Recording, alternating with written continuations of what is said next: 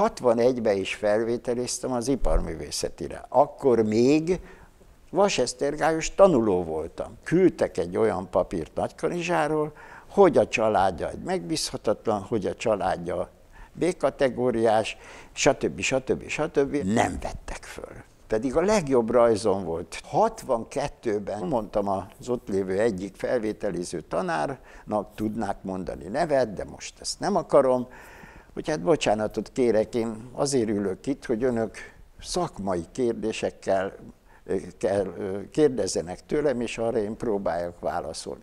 Na erre megint bepipultak, hogy hát hogy, miért vagyok én egy ilyen pofátlan, hogy igazítom őket, hogy ne az apámról kellene, kelljen nekem beszélni.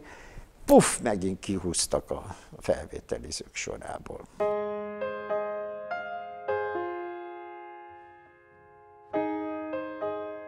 Egy építész azt mondja, hogy az épület az a legfontosabb, és a nagy egységből kell a kicsi felé menni. Megteremteni az építészeti követelményt ahhoz a témához, és abba beletenni a belső építészetet.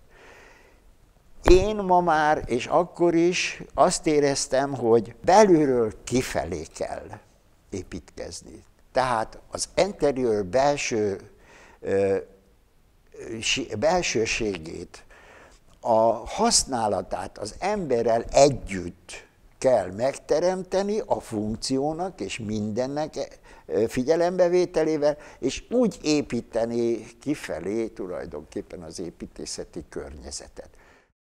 Tehát 68-at írunk, kilép a főiskola kapuján. Hát az történt, hogy megjelent Nagykanizsáról a Kanizsa bútorgyár igazgatója, és az a pártitkár, aki a leggonoszabb véleményeket írta rólam, ami miatt nem vettek föl háromszor, könyörögtek, hogy menjek le Kanizsára, a Kanizsa bútorgyár tervezőjének. Egy belsőépítész egy hülye rabszolga szakma, amiben nincs más, mint rajz, rajz, rajz, rajz, gondolat, újra gondolat. Egyik tevő, asztalon lévő kis gondolat szüli a másikat, átcsap a harmadikra, negyedikre, szóval, és akkor ugyanakkor technológiai minden gyönyörűen lerajzolni, hogy odadom az asztalosnak, és azt mondja, hogy igen, meg tudom csinálni belőle. Felvetődik a kérdés, hogy hát meddig bírod, meg hát mikor fekszel rá? Hát addig, amíg két óráig az ember fönt van.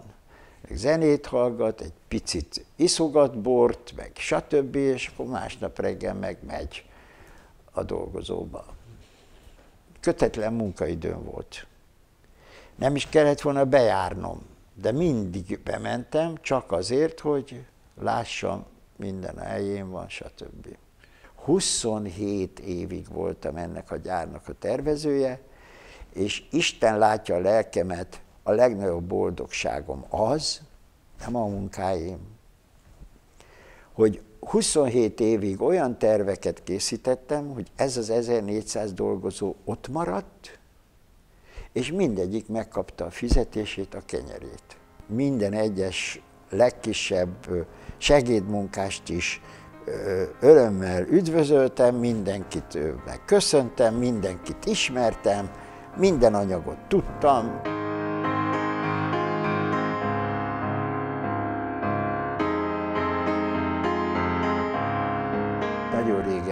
ott hagytam én a effektív tervezést, a butorgyári tervezést, bár nem csak Kanizsának terveztem, hanem későbbiek során más cégeknek is, amikor már tönkrement a Kanizsa. Talán még mindig egy millió lakásba talán van bútorom. Ott van Tóth Tibor Pál. talán.